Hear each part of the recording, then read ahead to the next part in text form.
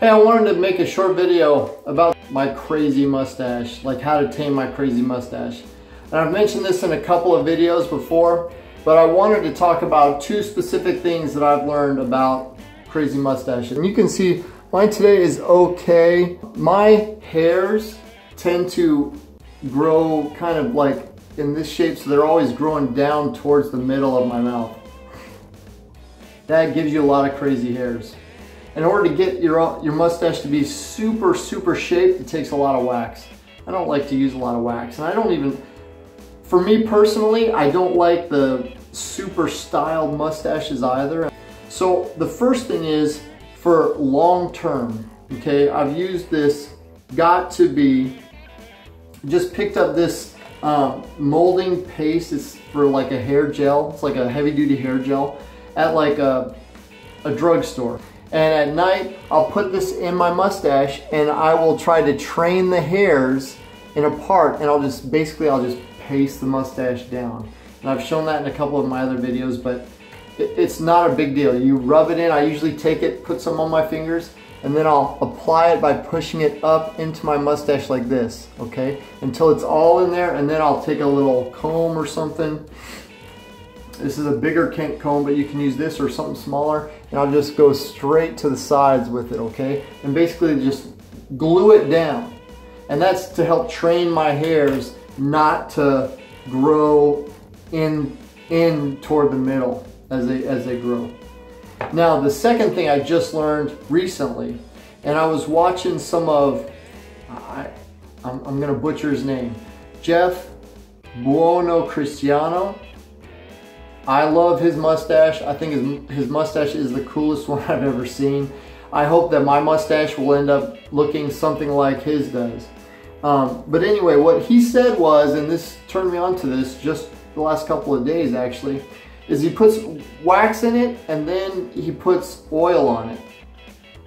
I thought that was weird, but lately I've had a hard time trying to style my mustache with just wax. And when I put the oil on it, it seemed to soften the hairs a little bit and they're, they're behaving better. Now, in addition to that, I will blow dry it with one of these type of, of brushes, these round brushes, so I'll blow dry it as I turn it out like this.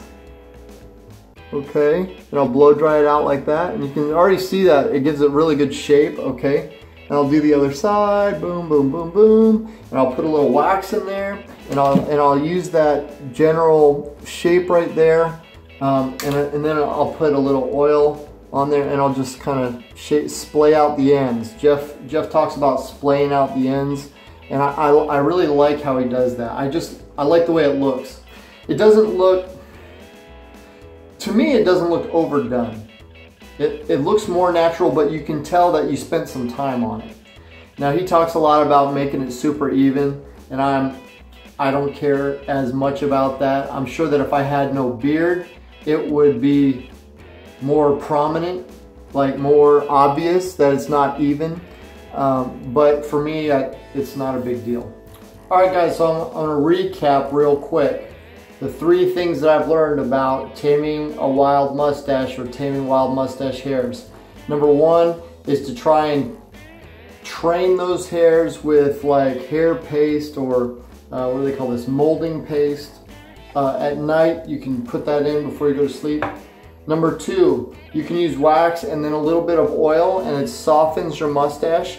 Now that's for a more natural look, but that works really well, so I, I use that. And number three is you can use a, a round brush like this and blow dry your mustache dry um, and you can get some good shape out of it that way. So those are the three things that, I, that I've learned recently about how to shape my mustache, how to get it to be uh, freaking awesome. Uh, those are the three things that I've learned. Uh, having a crazy, kind of a thick, crazy mustache, those are the three things I've learned to try and shape my mustache into looking as good as it can look. And I love it. I love having my big mustache and, and when my hairs behave, not very often, but when they behave, looks so cool, man. I love it.